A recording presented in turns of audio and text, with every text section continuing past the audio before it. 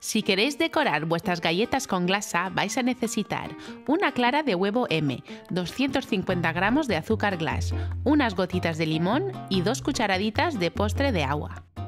En un bol, mezclar la clara de huevo con la harina tamizada. Añadir unas gotitas de limón para desinfectar la clara de huevo y mezclar. Agregar las dos cucharaditas de agua y mezclar hasta conseguir la consistencia deseada. No dudéis en añadir un poco más de agua para rectificar la textura y hacerla más líquida. Y con una manga pastelera decorar al gusto. Con esta glasa podréis decorar vuestras galletas de forma rápida y sencilla. Si aún no lo habéis hecho, apuntaros ya a nuestro canal YouTube para no perderos ni una receta.